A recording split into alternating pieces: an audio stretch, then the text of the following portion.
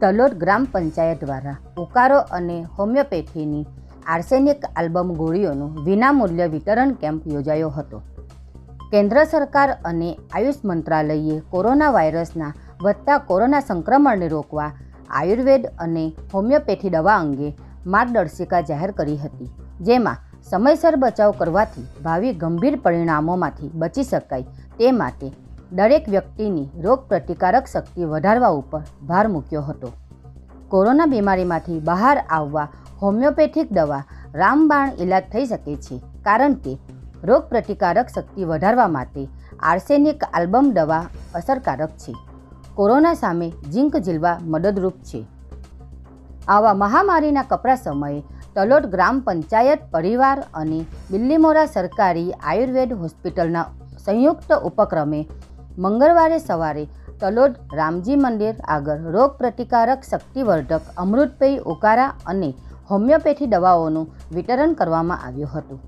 આ ઉકારો દસમૂલ, ક્વાટ, પથયાદી ક્વાટ ત્રિકટુ ચૂર્ણ તુલસી આદિ ઔષધીય દ્રવ્યો દ્વારા બનાવવામાં આવ્યો હતો. અમુક લોકો ઉકારા અને દવાનો લાભ ન લઈ શક્યા હતા. આનો લાભ આવા લોકો સુધી પહોંચી શકે તે માટે સરપંચ ગુલાબભાઈ પટેલ ઉપસરપંચ વિપુલભાઈ પટેલ અને નવયુવકો દ્વારા ગ્રામ વિસ્તારમાં, મહોલ્લામાં, ફળિયામાં, શેરીમાં જઈ ઘરે ઘરે ઉકારા અને દવાનું વિતરણ કરવામાં આવ્યું હતું. ઉકારા સેવા યજ્ઞને સફળ બનાવવા માટે બિલ્લીમોરા આયુર્વેદિક હોસ્પિટલના ડૉક્ટર રાગિણી ચૌધરી, ડૉક્ટર અંકિતા પટેલ, સ્વામી વિવેકાનંદ યુવા કેન્દ્ર સંયોજક જીગરભાઈ પટેલ, પ્રબોધ ભિંડે સહિતના સભ્યોએ ફરજ બજાવી હતી. તલોદથી સંવાદદાતા અશોક જોશીનો રિપોર્ટ. હાલમાં કોરોના મહામારી અને સંક્રમણના લઈને આજરોજ ગુજરાત સરકાર આરોગ્ય ખા, ને સરકાર આરોગ્ય ખાતા તરફથી આજે મારા ગામની અંદર ઉકાળાનું વિતરણ કરવામાં આવ્યું છે ને સૌ જનોએ ભાગ લીધો છે.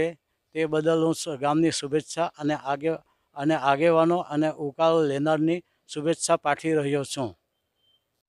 હું ડૉક્ટર અંકિતા પટેલ, સરકારી આયુર્વેદ હોસ્પિટલ બિલ્લીમોરા ગુજરાત આરોગ્ય અને પરિવાર કલ્યાણ વિભાગ, નિયામક શ્રી આયુષની કચેરી, ગાંધીનગર પ્રેરિત કોરોના મહામારીના રક્ષણાત્મક પગલાં તરીકે હોમિયોપેથી દવા, આર્સેનિક આલ્બમ અને આયુર્વેદિક ઉકાળાનું વિતરણ કરવામાં આવ્યું છે.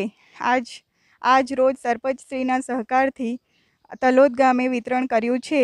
દરેક ગામના લોકો જાગૃજન જનજાગૃતિ થાય અને કોરોના મહામારી સામે રક્ષણાત્મક પગલાં અંગે આરોગ્યની સાચવણી કરે એ માટે દરેક ગામના સરપંચોને પ્રેરિત કરીએ છીએ.